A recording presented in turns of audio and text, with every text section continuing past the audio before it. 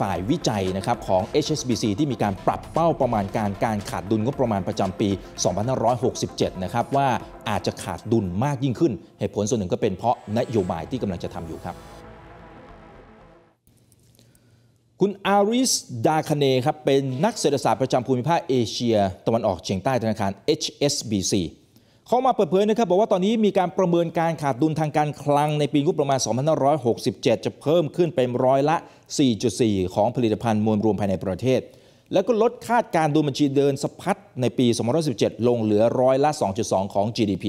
ซึ่งเดิมคาดการไว้อยู่ที่ร้อยละ 2.8 ครับในช่วงที่ผ่านมาพักเพื่อไทยก็ให้คำมั่นสัญญาในช่วงหาเสียง ว่าจะกระตุ้นเศรษฐกิจด้วยการแจกเงินดิจิตอลมูลค่า 10,000 บาท เนื่องจากว่ามีความเสี่ยงที่จะเกิดการเปลี่ยนแปลงที่เกี่ยวข้องกับรัฐบาล ในวันที่ 11 พฤษภาคม2017 จากการเปลี่ยนกติกาในการเลือกนายกรัฐมนตรีในวันดังกล่าว ซึ่งเขาก็มีการคาดการณ์นะครับว่า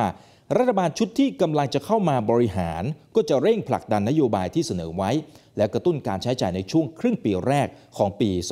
2017ทำให้มีแนวโน้มที่จะมีการใช้จ่ายของผู้บริโภคภายในประเทศที่เพิ่มสูงมากขึ้น แต่ความเสี่ยงที่อาจจะตามมา คือธนาคารแห่งประเทศไทยอาจจะกลับมาใช้นโยบายแบบเข้มงวดอีกครั้งหนึ่ง ซึ่งหากว่าอัตราเงินเฟ้อเพิ่มขึ้นเร็วกว่าที่คาดการเอาไว้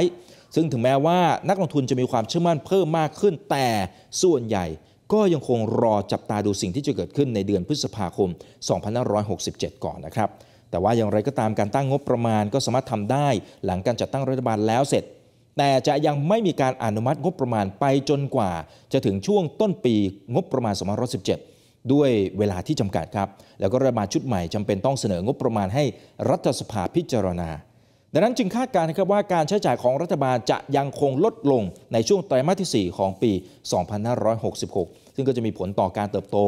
มีการชะลอตัวลงมาอีกนะครับ จากเดิมที่ต่ำกว่าการคาดการณ์อยู่แล้ว โดยช่วงไตรมาสที่ 2 ก็เติบโตได้เพียงแค่ร้อยละ 1.8 เท่านั้นเมื่อเทียบกับปีที่ผ่านมานั่นเองนะครับ ขอบคุณที่ติดตามรับชมรายการย่อโลกเศรษฐกิจครับ อย่าลืมกด subscribe กดกระดิ่งกดไลค์กดแชร์ในทุกช่องทางออนไลน์ของทีเอนช่อง 16 ครับ จะได้ไม่พลาดทุกรายการสด แล้วก็คลิปวิดีโอที่น่าสนใจมากมายครับ